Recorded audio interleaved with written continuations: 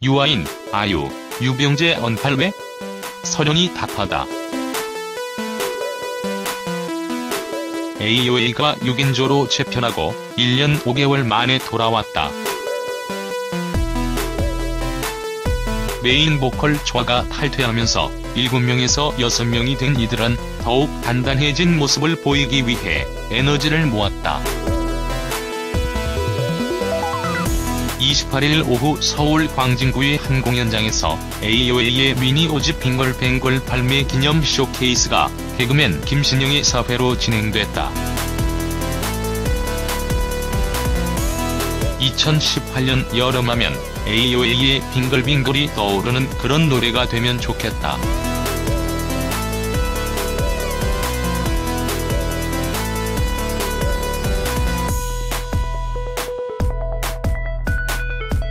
청량하고 중독성 강한 썸머송으로 돌아온 AOA는 이날 쇼케이스에서 타이틀곡 빙글뱅글과 수록곡 슈퍼듀퍼의 무대를 선보였다.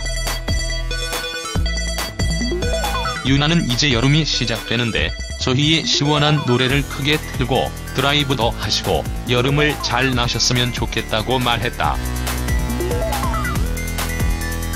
미나는 이번 곡은 건강미가 넘치는 곡이라고 설명하며 멤버들이 한 명도 안 빠지고 운동을 많이 했다고 덧붙였다.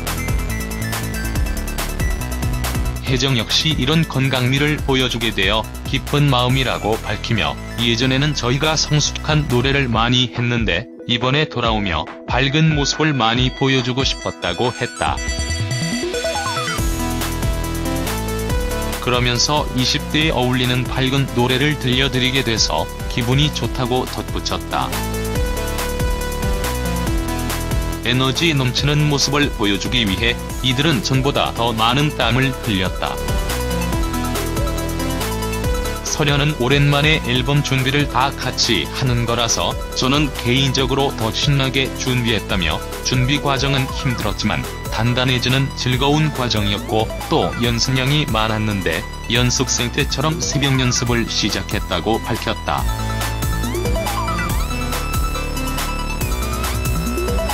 혜정 역시 지금까지 안무 중에 가장 힘들다며 구두도 포기하고 멤버 모두 운동화를 신었다고 말하며 웃어 보였다. 연습생 때로 돌아간 것처럼 다 같이 연습을 정말 많이 했다. 저희가 1년 5개월 만에 돌아오면서 저희 나름대로 최선을 다했다고 생각한다. 수정 녹음도 여러 번 했다.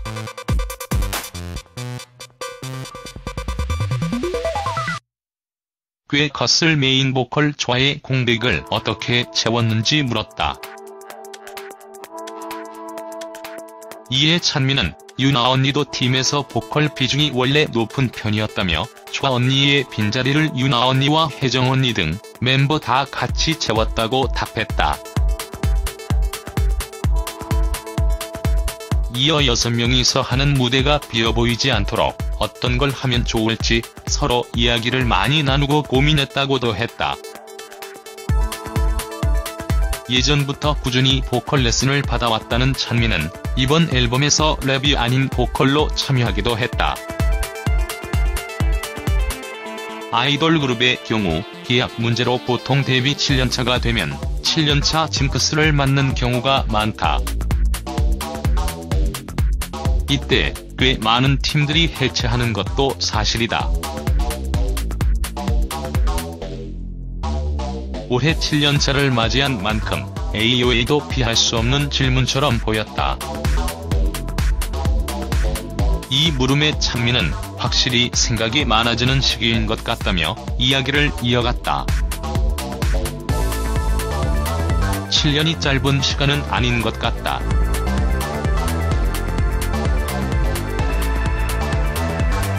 하지만 지금은 활동하는 게 너무 신나고 재미있어서 고민보다는 이 활동을 즐겁게 하고 싶다.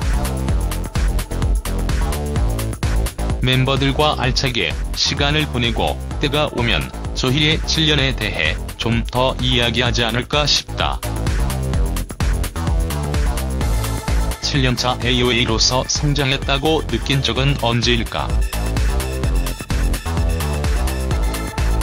이 물음에 찬미는 이번에 연습을 하면서 성장한 걸 느꼈다며 예전에는 춤을 맞추는데 오래 걸렸는데 이제는 딱딱 캐치해서 빠른 시간 안에 맞춘다는 점에서 그렇다며 웃어 보였다. 이어 노래할 때도 언니들을 보면 작곡가님이 원하는 느낌을 말씀하시면 바로 알아듣고 표현해서 가이드보다 더 좋게 음원을 만들어내는 걸 보고 정말 잘 하는구나라고 느꼈다고 말했다. 멤버들끼리 이제는 오래된 가족, 친구처럼 말을 안 해도 서로를 아는 것 같다. 오늘 누구 컨디션이 안 좋은데? 오늘 누구는 어디가 아프구나 하고 보면 알 수 있다. 저희끼리 있을 때 너무 행복하다.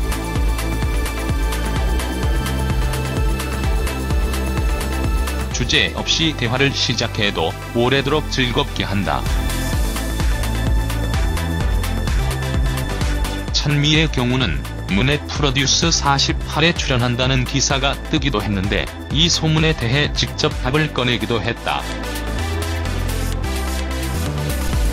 그는 공백이 길어졌고 또 제가 지금 23살인데 아직 나이가 어린 편이어서 거기 나가도 나이가 많고 그런 게 아니라 루머가 돈것 같다고 말했다.